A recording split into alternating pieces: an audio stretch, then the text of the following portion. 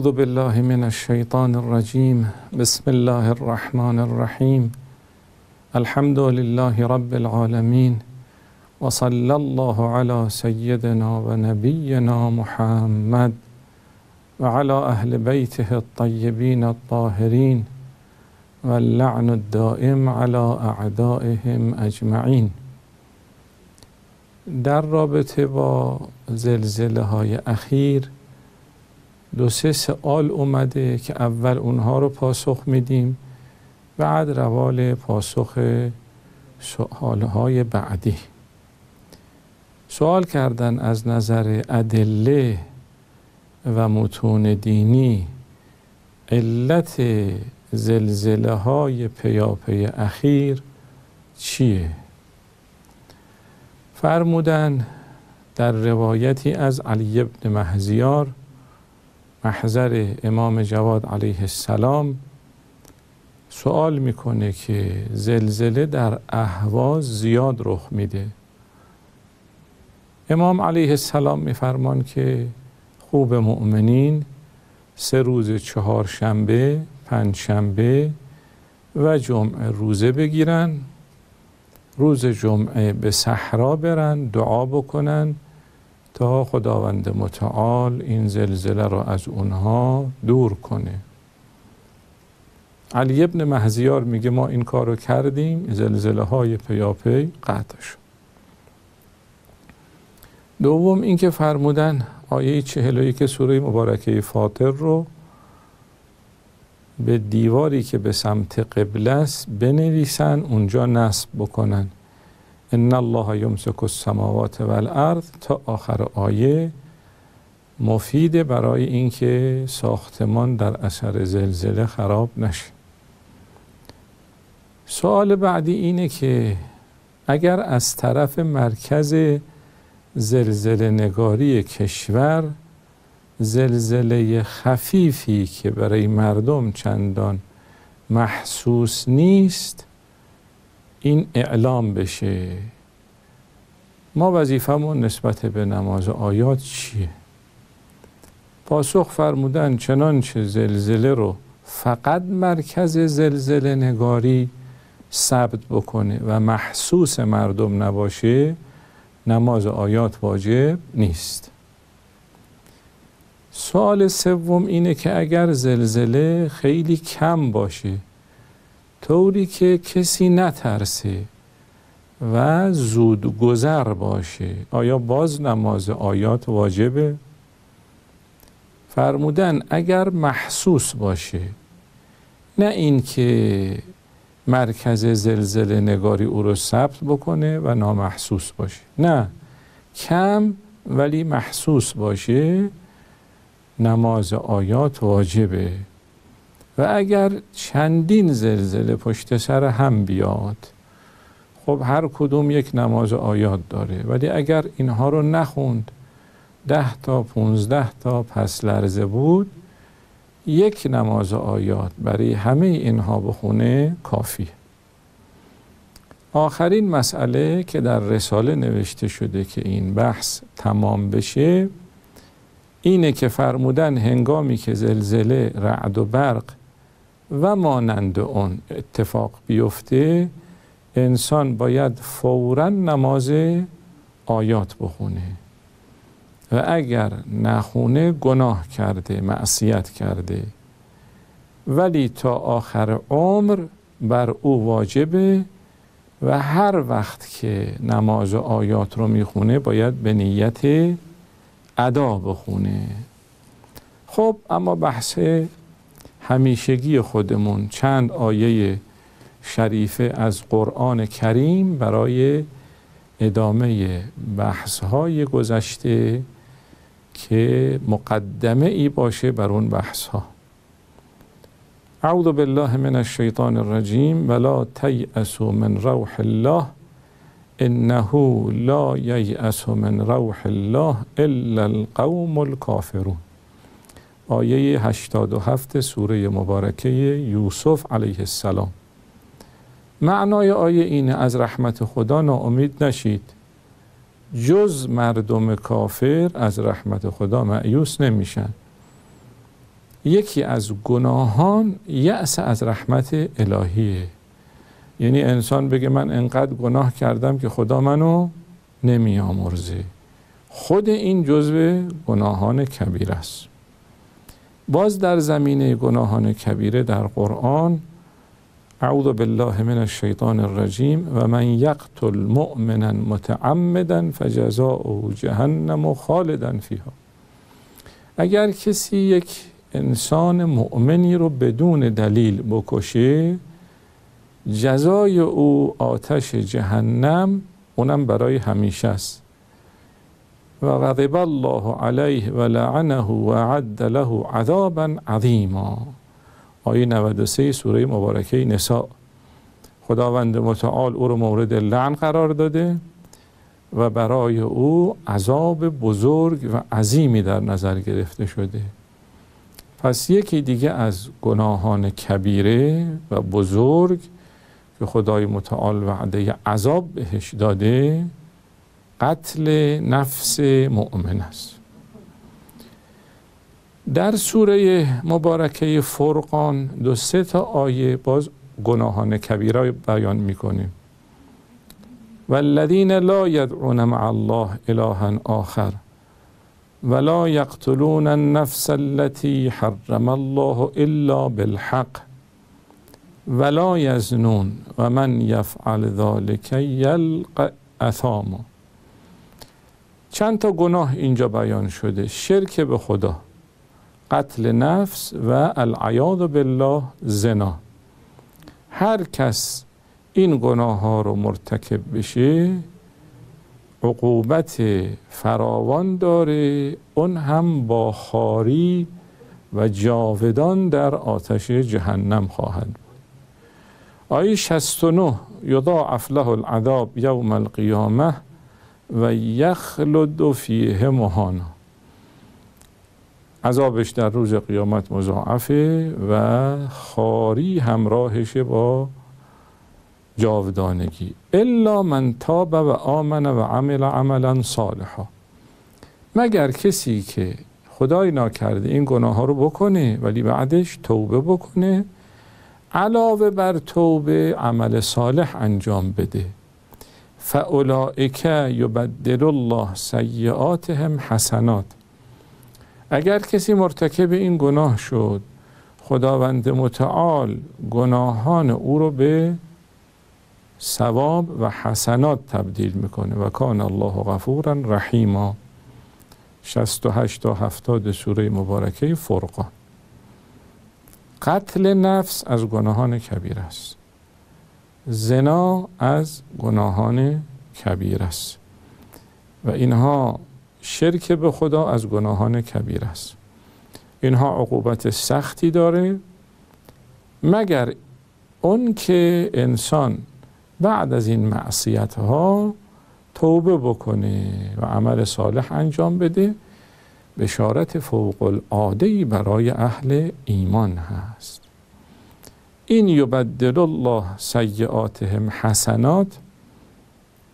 دو جور معنا شده. یه معنا این که وقتی توبه کرد شروع می‌کنه کارهای خوب کردن. خدا کارهای خوبش رو ثبت می‌کنه براش. و کارهای خوب برای او باقی میمونه. پس اون اعمال بدی که انجام می‌داد با توبه تبدیل شد به اعمال خوب دیگه. این یه معنا. یه معنای دیگه تو روایت داریم که او خیلی بشارتش قوی است و خیلی نورانی می‌کنه انسان طائب رو چون خدای متعال متطهرین توبه کنندگار رو دوست داره. یکی از کسانی که محبوب پروردگار متعال در قرآن اهل توبه. تو اون حدیث شریف داریم روز قیامت این آدم گنهکار در محضر عدل الهی قرار می‌گیره. چون توبه کرده و با ایمان از دنیا رفته خدای متعال میفرماد فقط گناهان کوچکش رو بهش ارائه بدین. او با نگرانی به پرونده اعمالش نگاه می‌کنه و خوشحال میشه که گناهان بزرگ توش ثبت نشده. خدای متعال میفرماد تمام گناهانش رو تبدیل به حسنات بکنید این وقتی رحمت واسعی الهی رو می‌بینه به خدا عرضه میداره خدایا من گناه های بزرگم کردم. یعنی حالا که گناه تبدیل به ثواب میشه من گناه های دیگه هم دارم اونا هم تبدیل به ثواب کنید.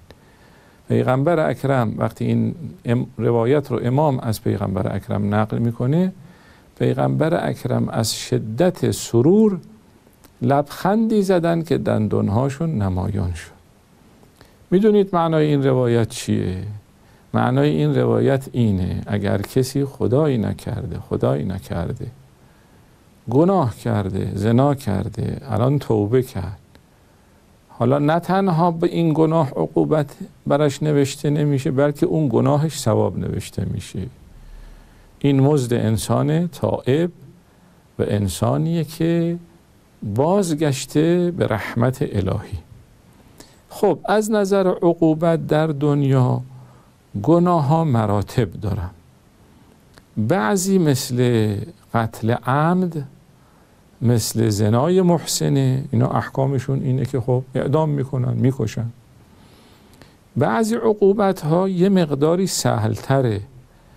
مثل زنای غیر محسنه مثل شرب خمر العیاذ بالله خوردن شراب. اینها تازیانه داره. اینها عقوبتی مثل دوتا گناه قبلی نداره.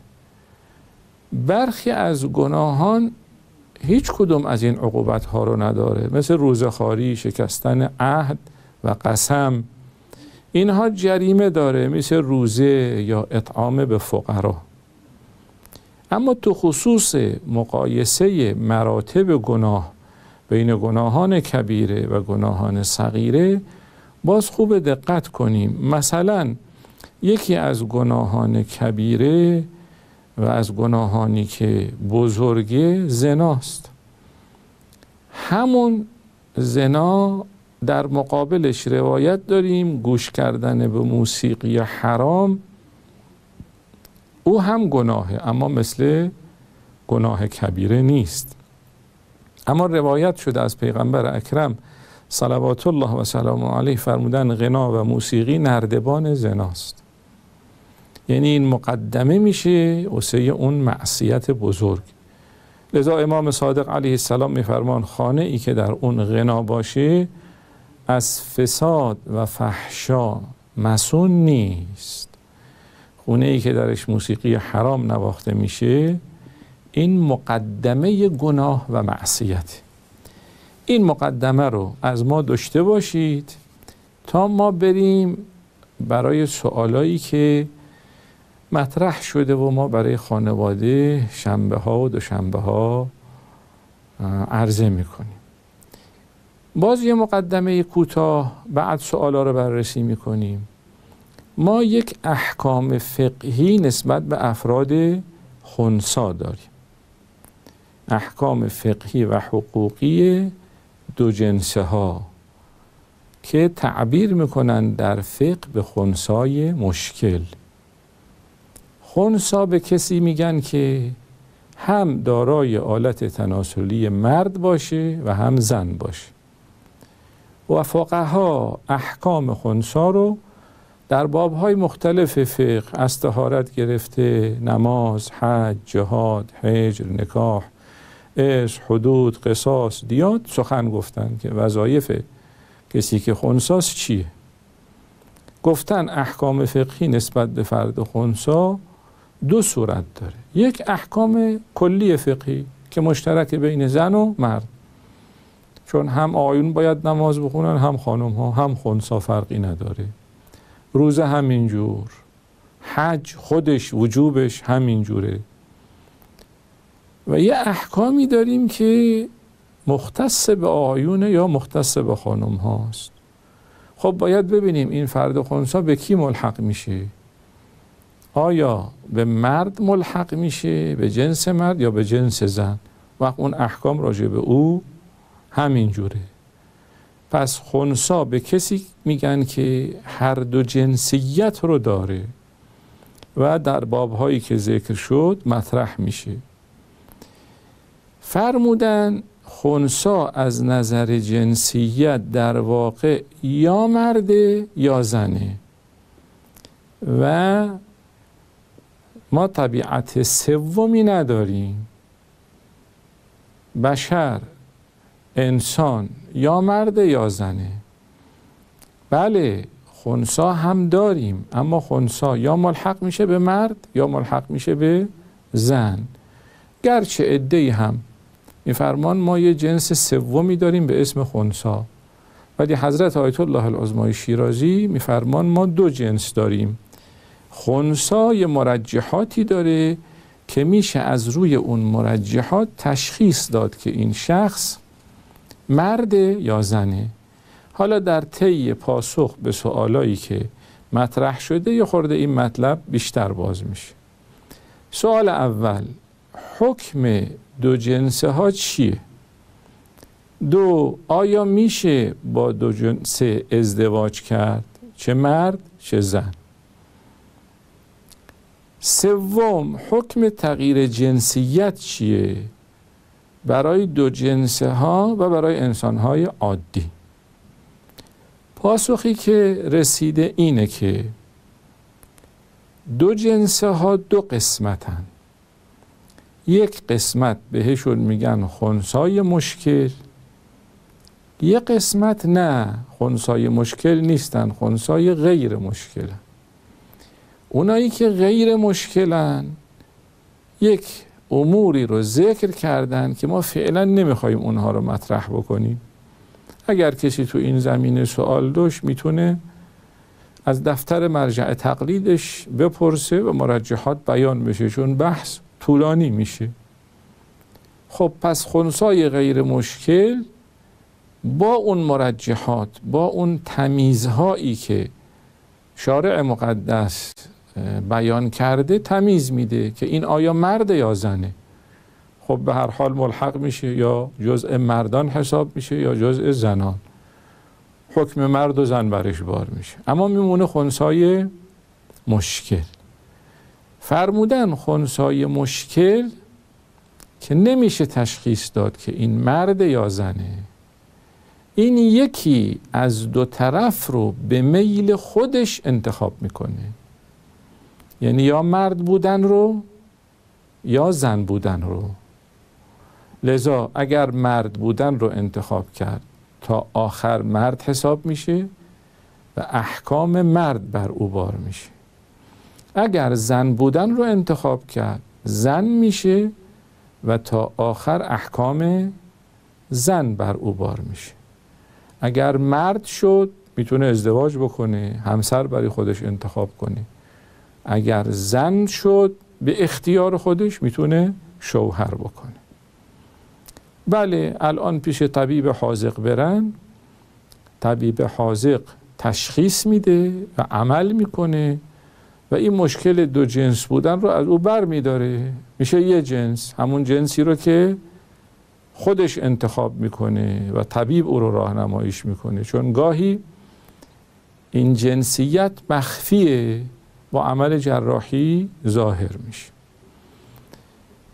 سوال کردن باز واسه اینکه مطلب یه مقدار روشن بشه من سوال دوم رو مطرح می‌کنم. دختر خانومیه که جنبه جنسی مردانه داره و بقیه اعضای بدنش زنانه است. یعنی دو جنسه تکلیف شرعیش در مورد ازدواج چی چی کار باید بکنه؟ پاسخ همونیه که عرض کردیم خدمتتون. اگر از سنخ و نوع خونسای مشکل انتخاب می‌کنه که من دختر باشم زن باشم لذا زنه می‌تونه شوهر بکنه و باید چادر بپوشه احکام زن هم بر او بار میشه. و اگه مرد بودن رو انتخاب بکنه مرد حساب میشه. عرض کردم اینا همه در مورد خونسای مشکله و الا خونسای غیر مشکل حکمش روشن شد. او یا ملحق به مرده یا ملحق به زنه و در این صورت دیگه ایجاد مشکل نمی‌کنه سوال کرده کسی من از سن دو سه سالگی به همجنس خودم گرایش داشتم و تا به الان که 23 سال دارم این احساس نه تنها از بین نرفته بلکه بیشتر شده. من در خودم نیاز عاطفی به همجنس رو احساس می‌کنم و اصلا دنبال امور شهوانی نیستم. دوست دارم نیاز عاطفیم از یک طریقی برطرف بشه و آیا این راه راه معصیت و گناه یا نه؟ افرادی مثل من که آفریده, آفریده پروردگار متعال هستند و با این احساس به دنیا اومدن باز مثل کسانی هستند که اهل معصیت هستند یا نه. جوابی که داده شده اینه که رابطه عاطفی با همجنس مجاز نیست و نهی شدید شده و در این نهی تأکید شده و ادله نشان میده این احساسات تأصل نداره اصیل نیست. اینا احساسات غلطه حالا منشأش امور روانی تربیت های ناصحیح مشکلات از این قبیل باشه یا مشکلات دیگه ای باشه به هر حال اثبات شده این احساسات اصالت نداره. بلکه یه عارضه غیر طبیعیه و باید از راه معنوی و از راه مادی معالجه بشه. در روایت داریم که یک نگاه شهوت آمیز به همجنس مانند اونه که هفتاد ضربه شمشیر به سر و روی مبارک امیر المؤمنین علیه السلام فرود بیاد. من اون مقدمات گناه رو و مراتب گناه رو خدمتتون عرض کردم که اینجا این روایت تبیین بشه. این گناه انقدر زیاده انسان وقتی یه آدم عادی رو می‌کشه این یک مرتبه از گناه. یه وقت یه انسان تحصیل کرده رو می‌کشه. یه وقت یک فقیه مجتهد پرهیزگار رو به شهادت میرسون یه وقت شمشیر به روی امام و حجت خدا می‌کشه. قطعا اینا مراتبش فرق می‌کنه. گناه نگاه نامربوط به همجنس و با احساسات غلط انقدر زیاده که در روایت داریم شمشیر نواختن بر جسم متحر آقا امیر المؤمنین علیه السلام.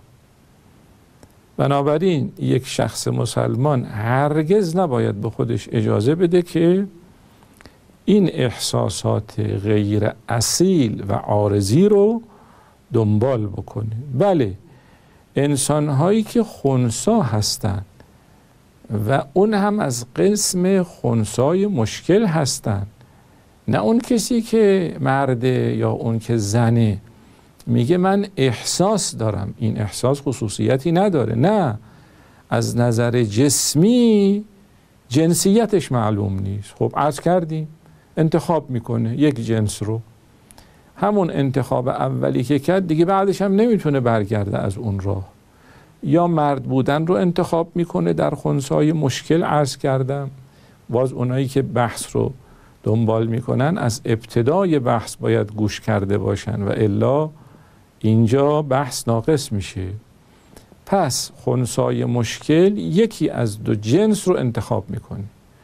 اگر انتخاب کرد مرد بودن و مرد و احکام مرد بر او بار میشه و اگر زن بودن رو انتخاب کرد او زنه و احکام زن رو بر او بار می‌کنن سوال شده که تکلیف احکام رابطه کسانی که جسم و روحشون هماهنگی نداره در اصطلاح پزشکی بهشون دو جنسی میگن همانطور که مستحضر هستید تغییر جنسیت در ایران و خانواده های سنتی یک امر غیر ممکنه و در اجتماع و خانه و خانواده عواقب فوق العاده وخیمی داره حالا تکلیف این افراد چی میشه؟ اینها چجوری برای خودشون شریک زندگی انتخاب بکنن؟ پاسخ باز همون پاسخهای گذشته است. قرآن مجید و احادیث شریفه نشون میده که انسان یا مرده یا زنه. جنس سومی نداریم که نه مرد باشه نه زن. بله خونسا داریم. مرد زن و خونسا. منتها خونسا دو قسمه. خونسای مشکل و غیر مشکل غیر مشکل که حل مشکلی نداره. یا ملحق به مرد یا ملحق به زنه میمونه مشکل که نادرن یه همچی افرادی. و خونسای مشکل از نظر جسمی اگه تحت عمل جراحی قرار بگیره با اختیار خودش یه جنس خاص رو خواهد داشت. و احکام همون جنس بر او بار میشه. آخرین سوال توی این زمینه آیا مرد مسلمان می‌تونه با زنی که دو جنسیه ازدواج بکنه یا نمی‌تونه ازدواج کنه؟ باز پاسخ اینه اگر خونسا اون هم خونسای مشکل یک طرف رو انتخاب بکنه و زن بودن رو انتخاب بکنه بله از نظر شرعی ازدواج با یه همچی شخصی اشکالی نداره. منتها به شرط اینکه معلوم بشه که این خونسای مشکله. یعنی هیچ طرف روشن و آشکار نیست. خب این نسبت به خونسای مشکل اگر سوالای بیشتری تو این زمینه داشتید بهتره که از دفتر سوال بشه. خورده ریزای دیگه ای که ممکنه نشه. بیان کرد افراد خاص می‌تونن سوالاشون رو به شکل خصوصی سوال کنن. آخرین سوال که یه مقدار متمم این بحثه و بحث های گذشته. فرمودن حکم ارتباط زوجین قبل از ازدواج در فضای سایبری به صورت صوتی و تصویری با هدف انتخاب آگاهانه چیه؟ من می‌خوام آگاهانه همسرم رو انتخاب کنم. با او تو فضای مجازی هم تصویری ارتباط برقرار می‌کنم هم صوتی. پاسخ ابتداعا اینه تصویری جایز نیست و صوتی هم سزاوار نیست. یعنی بهتر انسان انجام نده. توضیحی دادن که این توضیح خیلی مفید به نظر می‌رسه. و اونم اینه که حقیقت این عالم و شناخت افراد به دست پروردگار متعاله. ما هر قدر هم تلاش بکنیم که همسر آیندمون رو از هر جهت بشناسیم باز ممکنه موفق نشیم. چه مرد زن رو بخواد بشناسه چه خانوم بخواد همسر آیندهش رو بشناسه. چون خیلی از امور پنهان میشه با پنهانکاری تو عصبانیت ها معلوم میشه تو مسافرت ها معلوم میشه. خدای نکرده انسان تغییر موضع میده اندیشش عوض میشه. از این مشکل اینجوری حل نمیشه. یکی از مستحبات اینه کسی که می‌خواد ازدواج بکنه شبی که می‌خواد بره خواستگاری یه نماز دو رکعتی هست با کیفیت مخصوص که خدا یا تو به من کمک کن که همسر مناسبی انتخاب بکن. انتخاب بشر عموما دچار مشکل حضرت موسی علی نبی و و علیه السلام از میان 700 نفر از قوم خودش که جزو خوبان بودن هفتاد نفر رو انتخاب کرد تا اینها رو با خودش به میقات ببره. در اونجا که با خدای متعال مناجات می‌کنه اینها ببینن این احکامی رو که حضرت موسی علیه السلام آورده از جانب خودش نیست از جانب پروردگار متعاله. چون به حضرت موسی با اون همه معجزه هایی که دیدن گفتن ما از کجا بدونیم این قوانینی رو که شما بیان می‌کنید؟ قوانین پروردگار متعال. بنا شد با حضرت موسی علیه السلام به کوه تور بیان و کلام الهی رو همچنان که موسی علیه السلام میشنوه اونها هم بشنون تصدیق کنن برگردن به بنی اسرائیل بگن. هفتصد نفر خوبان هفتاد نفر از میان اینها انتخاب شد. اهل ایمان. اومدن در محلی که مناجات می‌کرد حضرت موسی علیه السلام صدای الهی رو شنیدن وحی رو به گوش خودشون شنیدن اما به موسی علیه السلام اعتراض کردند که ما باید خدا رو ببینیم. آیا خدایی که تمام هستی رو خلق کرده با چشم دیده میشه؟ اگر دیده بشه که محدوده وقت محدود که نمی‌تونه خدا بشه. حضرت موسی علیه السلام هفتاد نفر گل سرسبد رو اوورده ولی اینها هم مشکل دار شدن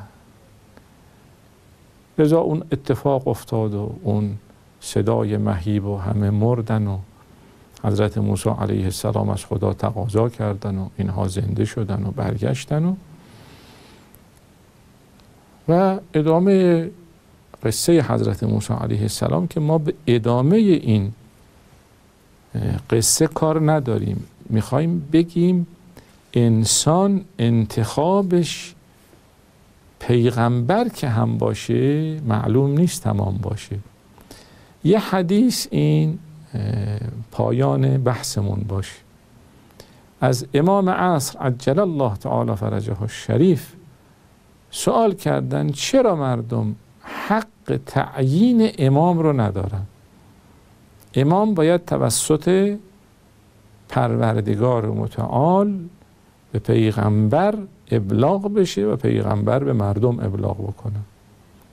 حضرت فرمودن موسی علیه السلام هفتاد نفر رو انتخاب کرد که معلوم شد این هفتاد نفر لایق نیستن. پس وقتی انتخاب شدگان پیامبری مانند موسی علیه السلام منحرف شدن انتخاب شدگان مردم عادی چه وضعی خواهد داشت؟ برگردیم سر انتخاب همسر. موسی علیه السلام نتونست انتخاب مناسب بکنه. وقت ما می‌تونیم همسر مناسب انتخاب کنیم؟ نمیشه. بله این معناش این نیست که تلاش نکنیم باید تلاش بکنیم منتها حضرت آیت الله العظمای شیرازی همیشه میفرمان بال موفقیت انسان دو تا آیه قرآن. لیس للانسان الا ما سعی. انسان باید تلاش بکنه. در سایه تلاش به مقصود می‌رسه. اما آیا فقط تلاش کافیه؟ نه. قل ما یعبع بکم ربی لولا دعاکم پایان سوره فرقان ملاحظه بکنید. خداوند متعال میگه تلاش بدون دعا فایده نداره. تلاش با دعا. انسان تلاش بکنه دعا هم بکنه. اینها دو بال پرواز انسانه. اینها دو ستون رسیدن به حاجات و نیازهای انسانه. تلاش تنها ما رو به مقصد نمیرسونه. تلاش نکردن و فقط دعا کردن هم ما رو به مقصد نمیرسونه. هم تلاش هم دعا. اگر بخواهیم در این مسیر از خودمون راههایی رو بریم که مرزی خدا نباشه ضرر می‌کنیم.